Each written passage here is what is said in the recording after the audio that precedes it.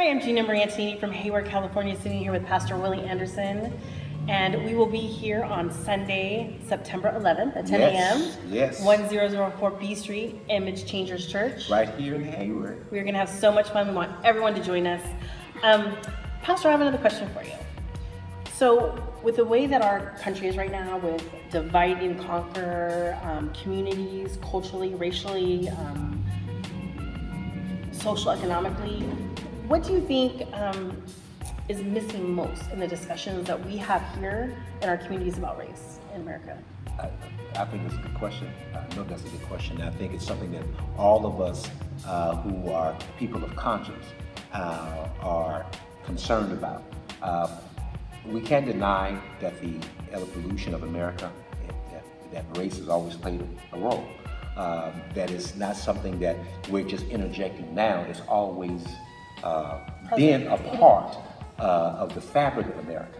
And even at times when we want to deny that, and certain communities want to deny the influence of race and uh, race relations, uh, to deny that this country at one time that belonged to a different or indigenous people, and, and as a result, that those indigenous people were overwhelmed by another majority group, deny the fact that African Americans or Africans uh, the original African Americans were Africans who were not Americans, who, who didn't immigrate here, who were brought here. Right. And then uh, their uh, labor, uh, they were not the beneficiaries of. Their labor went uh, to uh, build wealth for those who exploited them for their own purposes. And, and it's that wealth and, and that labor and, and race that has been the crux uh, of America's emergence. And now, as we continue to evolve through the decades and through civil rights, uh, economic rights, all these dynamics uh, have happened with race being the core, Civil Rights Act and the Voting Rights Act, all of these things. And to get to this point now where, where we're integrated post-racial culture.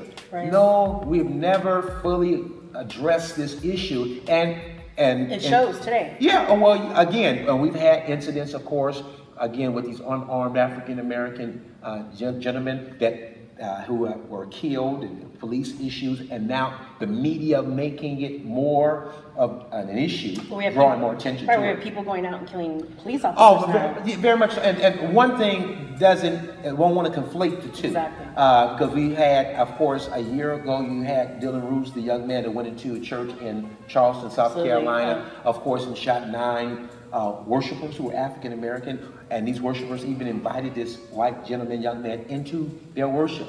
And and and he used that occasion to kill them, slaughter them, and uh, and then more importantly, after, or as importantly, after that, that that community, the faith community, came together and said, we those families uh, showed such courage and such strength. They taught us as a nation and said uh, they prayed for him, and then you didn't see riots in the streets there, but they prayed and they set an example. So, so race has always been a part of the country and part of our emergence. However, it cannot just be something that we talk about in back rooms. And now the covers have been pulled back because of these, these more prominent incidents and of course with the emergence of Black Lives Matter and, uh, and, and, and making uh, inroads, uh, even in this political season.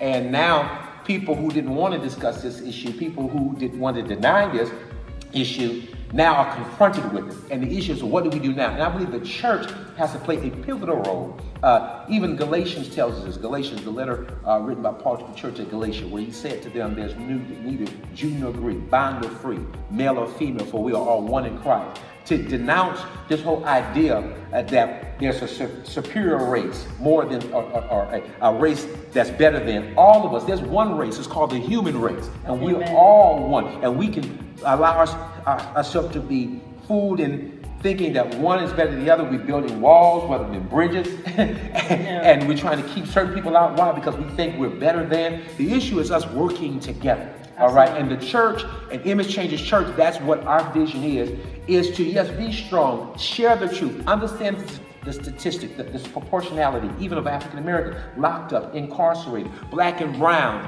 you know, being arrested. These are important issues for us to grapple with, but not just to grapple with uh, in isolation, but to then lift them so that people who are unaware, who may be ignorant because of, uh, because they're unaware, or Media. yes, been told propaganda and believed it, that they could get the truth so we can work together. So the church has to play a pivotal role in this. And Image Changers Church, uh, again, is the ministry here, East Bay. We're coming to play a role, lift these heavy topics, challenge us as people of faith so that we can leave the walls and make a difference in the community. And bring all colors together to Very make a much so. change. Very much so. Join us. Hi, I'm Gina Rancey, sitting here with Pastor Willie Anderson from Image Changers Church. Check out clip number four.